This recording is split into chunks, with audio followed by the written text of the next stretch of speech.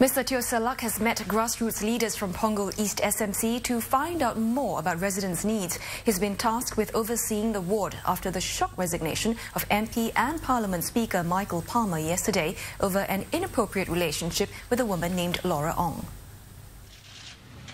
Even as news of Mr. Palmer's resignation starts to sink in, the focus has shifted to ensuring there is a smooth handover of duties. Mayor of North East District Teo Ser Luck says his priority is to make sure the needs of residents in Punggol East SMC continue to be met. He has gotten down to work immediately in the evening, meeting with grassroots leaders to reassure them and to find out what are the outstanding issues that need to be dealt with. I think their main concern was um, how could they get the support to continue to serve the residents and whether there will be a representative there for them to turn to. And I think that we assured them that uh, I'll be the contact point and the standing and covering MP for the moment. Mr. Teo says his plans include finishing projects that Mr. Palmer started and tackling outstanding issues involving residents. For example, pushing for the upgrading of Rivervale Plaza to be completed. Mr. Teo says he has big shoes to fill, as Mr. Palmer was well loved by residents and those he has worked with.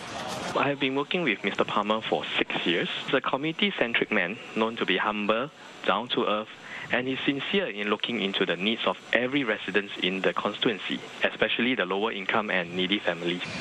Mr. Teo, who is the Member of Parliament for Punggol Central, will also make sure Meet the People sessions in Punggol East SMC go on as usual and MPs from the neighbouring Pasir Ris Punggol GRC will chip in to help if necessary. Mr. Teo will have to juggle the commitments that he has in his own ward as well as those that he has acquired in Punggol East SMC. But Mr. Teo says that he is confident he will be able to manage. Having been a mayor across the different area, across the district, uh, that helps in some way or another to understand what's happening. And I think that helps in many ways because it cuts across 18 constituency and have a good sense of what uh, probably Punggol East needs. Uh. Even so, Mr. Teo said he needs to spend more time on the ground to understand the issues thoroughly before he can engage residents effectively. Mr. Teo has also spoken about pictures of him with Miss Laura Ong that have been circulating online. He says the photos were taken at a grassroots event. Nearly 100 pictures of Miss Ong were posted on this website yesterday afternoon. Several show her with Mr. Teo. The person who runs the website and who's remaining anonymous says the photos are reposts from various Facebook users. On his part, Mr. Teo says Ms. Ong headed the Punggol South constituency office where he used to be MP and the photos were taken during a grassroots organization retreat for staff and volunteers.